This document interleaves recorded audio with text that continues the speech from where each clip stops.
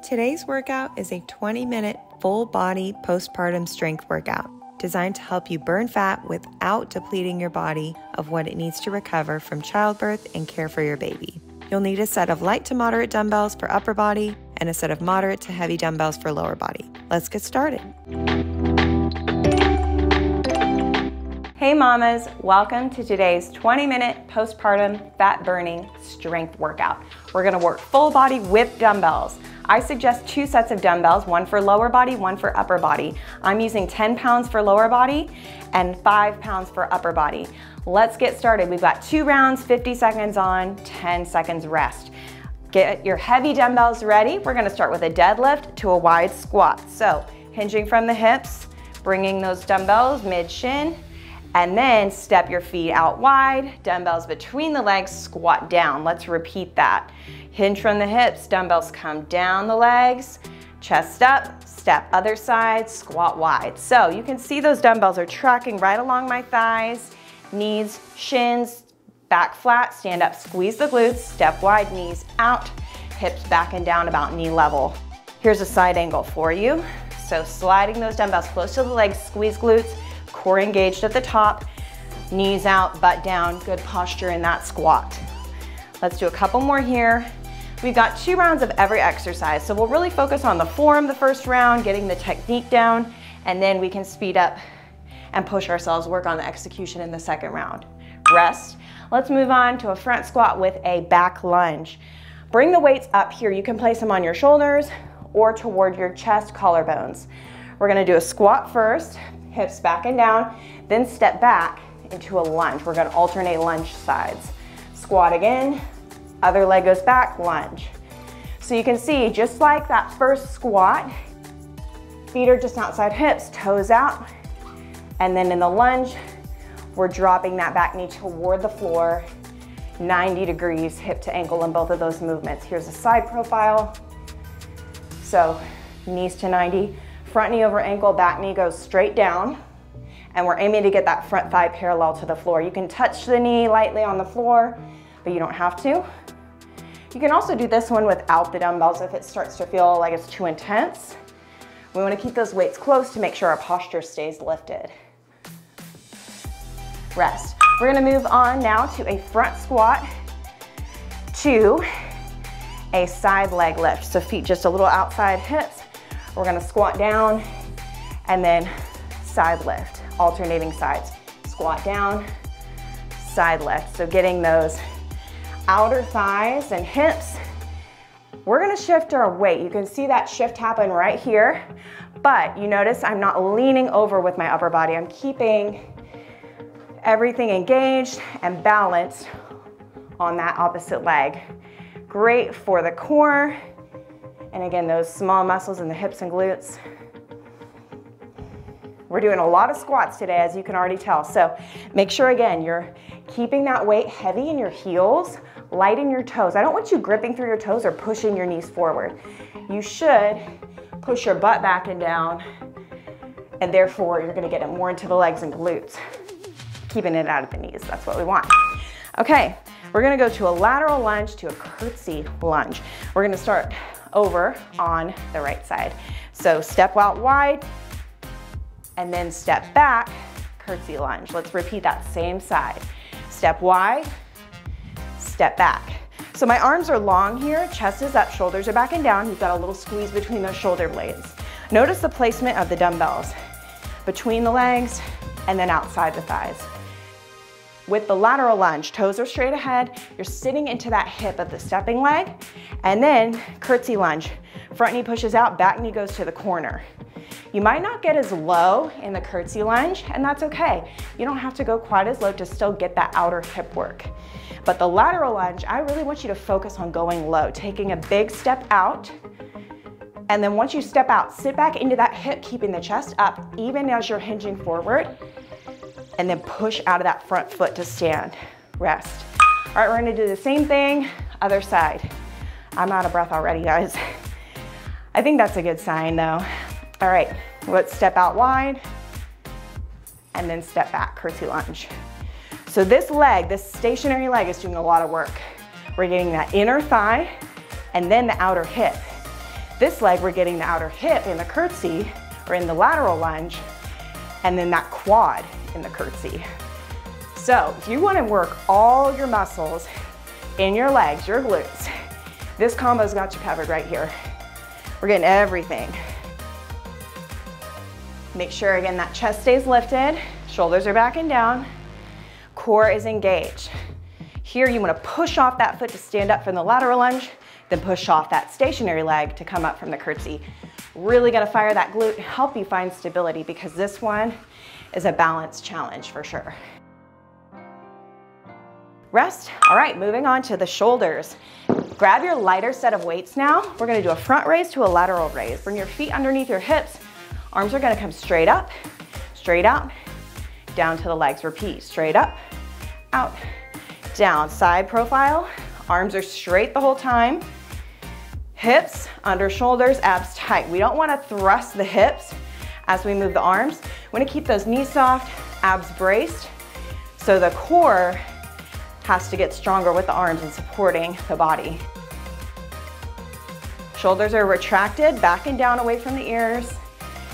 And then elbows are just soft so you're not locking out the arms.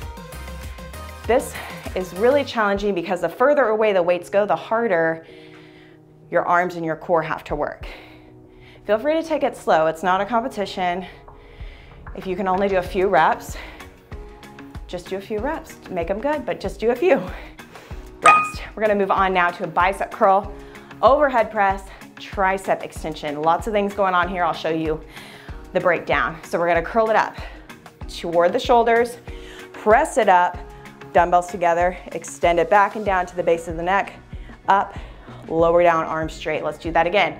So we curl, press, back and down, base of the neck, extend, slowly lower down.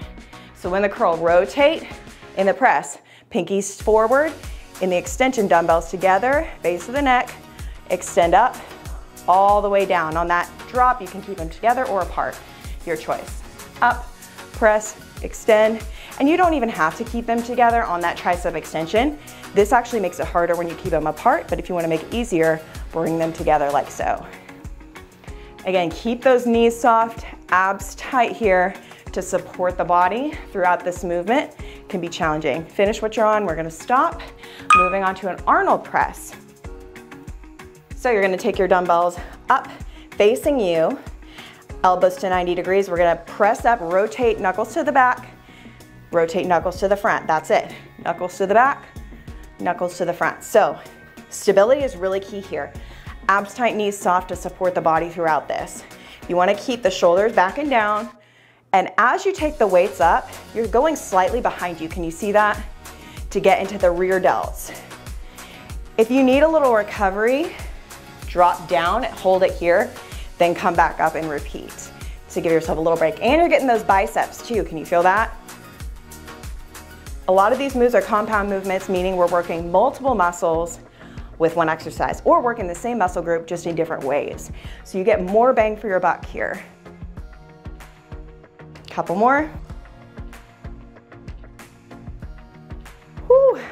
Nice. We're moving on to a bent over row. We're gonna go narrow row, wide row. Feet hip width apart, hinge from the hip, back long and straight, chin tucked. We're gonna pull elbows to the back of the room, then take the elbows wide.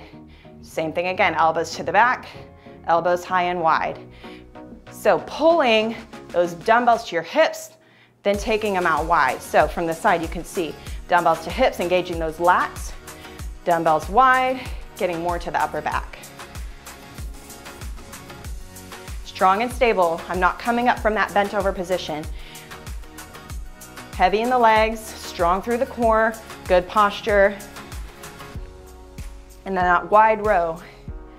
Think, take those arms really wide, take the dumbbells really wide, right under those shoulders. And you can see that rotation happening, getting into those different muscles in the back body. Rest. All right, we're moving on to the floor. Push up to a side plank. You can use your dumbbells here or not. Knees wide, shoulders over wrists. We're gonna do our push up first, and then side plank, knees or toes, lift that top arm, and then place it back down. Push up, side plank. This is the knee down version. You can either drop that dumbbell too as another way to modify it. So lots of options. You can keep the knee down. You can use the dumbbell. You can go without the dumbbell. But I want you to focus really on that strong push up. So chest to elbow level here, belly braced, strong rotation, meaning shoulder is over the wrist, in that bottom arm, and the top arm, wrist is above the shoulder. Nice straight line. You're controlling the movement. And if you find you need to modify, just take the dumbbell down. That'll take a lot of that pressure off. We really wanna focus on that strong core engagement here.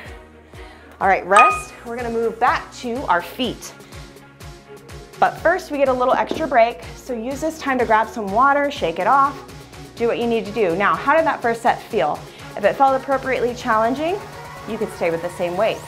If it felt too challenging, back it off. If it felt really easy, maybe a little bit of extra weight, but regardless, this next set will challenge you more because we've started to fatigue the muscle. Grab those heavy weights, back to our deadlift to the wide squat. Feet hip width apart, shoulders back and down, hinge, step wide, dumbbells between the legs. Hinge, squat. So we're getting those hamstrings, glutes, core, quads, glutes, hamstrings in the squat. Really functional movements. How many times a day, if you have an infant, are you doing these movements? You probably don't even know, but I'll tell you it's a lot. Bending over to pick up your baby or pick up all the things they throw on the floor if your baby's my age. About one. Lots of throwing going on these days and lots of squatting to clean up messes. Couple more here.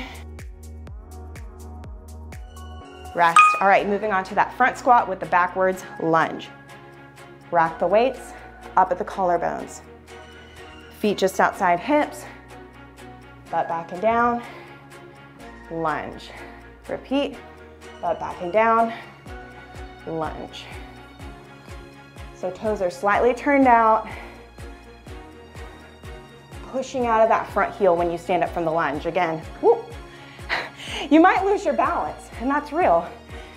But you know what? That's the whole point of doing these exercises is to challenge your stability. If you don't fall over every once in a while, are you really being challenged? I think not. I like to show even the bloopers because, you know, I'm a real person too doing this at home just like you. I just happen to record it and put it on YouTube. Couple more.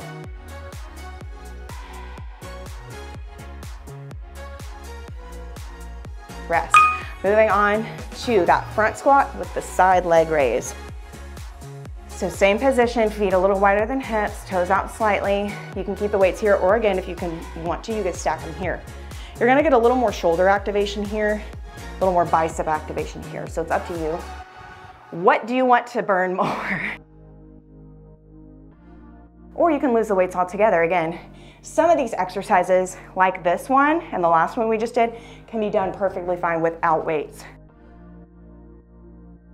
The arm exercises, you could even do them with like cans of food, just something where you're using the same weight in each hand, but you can get creative here. You don't have to have dumbbells. Again, finding that stability, make sure you're not shifting too much. Get that leg up. It doesn't have to be super high. You can go here. You're still gonna feel that work in the side glute. I'd rather you go low than go high and lean over. That's gonna take the workout. Rest, we're gonna move on to that lateral lunge with the curtsy lunge combination. Feet under hips, dumbbells are gonna go between the legs. Big step out, here we go. Sit back, step back, dumbbells outside the thighs. Reach down, chest up. So as you're hinging, you're hinging from the hips. Spine is nice and straight. Heavy in that stationary leg. Push through the heel every time you stand back up. Fire that glute, brace your core.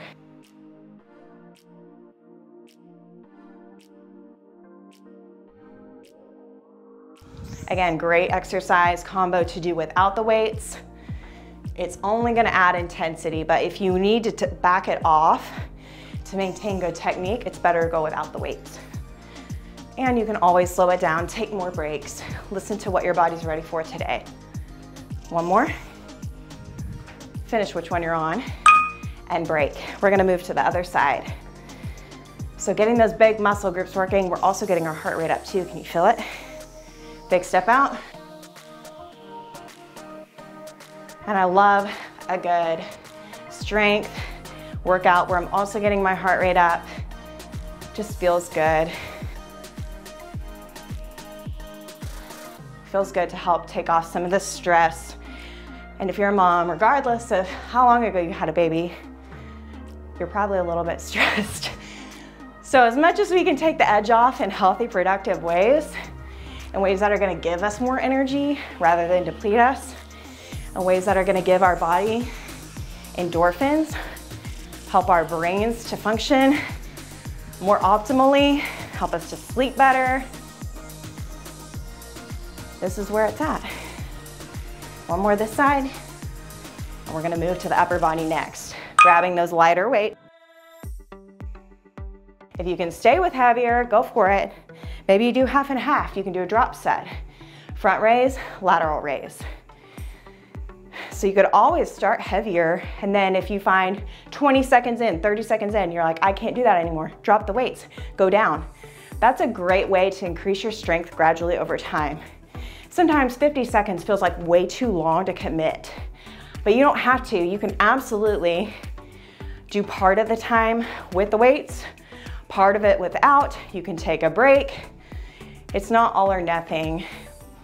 So don't think about that when you're training. Think about how can I do what's best for my body today? And it's not linear either, as much as we want it to be.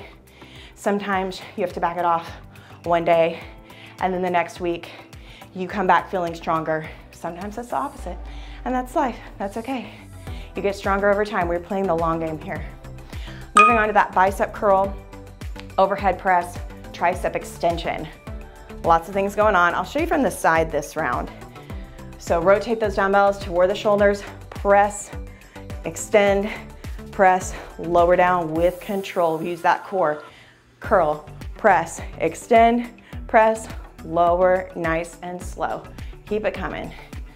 There's kind of a rhythm to this one.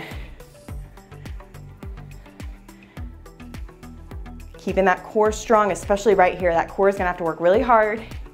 Make sure you're not arching your back or thrusting your hips. Keep those knees soft. If you need, remember you have options here. You can keep those dumbbells together. That makes it easier. Or you can separate them a little bit, making it harder. That just allows the arms to work individually if you're keeping them separated. If you put them together, you get to use the support from both arms.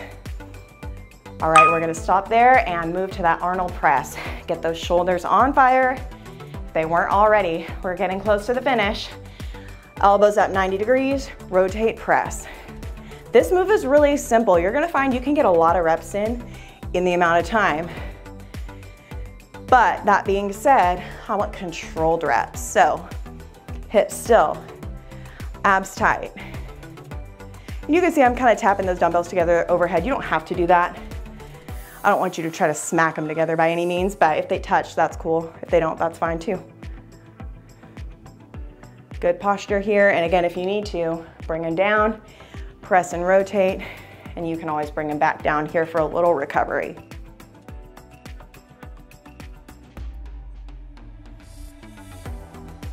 Almost there, guys. Such a great exercise for your core too. All right, let's rest and go to that bent over row, narrow to wide. Feet under the hips, shoulders back and down. We're gonna pull elbows to the back, then elbows wide. Here we go, hinge, pull out back, pull wide. Keeping that back long and straight. All these movements, you can tell your core plays a really big role, if not the biggest role so if you're not working on your core strength, you should be, postpartum, pregnant, or not. I've got ab workouts for every phase of life that I've been through at least. but yeah, check out my playlists. My postpartum ab program is my most popular program.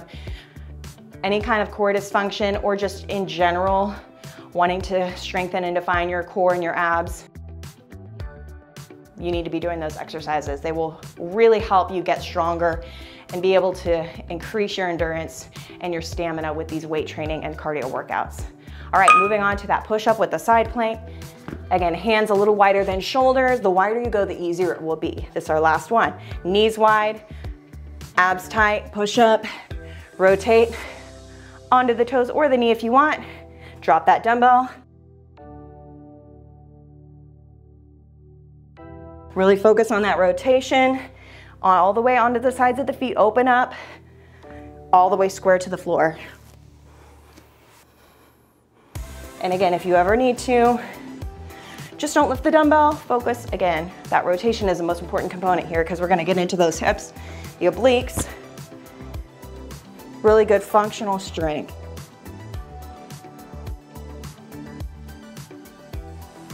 We only have a few left. Make it count, make sure you finish even.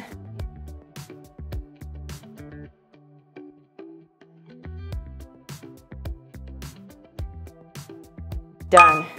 We made it. 20 minutes, functional postpartum strength. I hope you all enjoyed that. And again, there's lots of ways you can modify and progress that workout. So be sure to do it again. Maybe you can adjust your weights, see what you can do the next time. And be sure to check out my playlist for more postpartum functional strength, core, cardio, and HIIT workouts. And let me know below, what would you like to see on my channel? I always take requests. And I'll see you back here for our next workout together.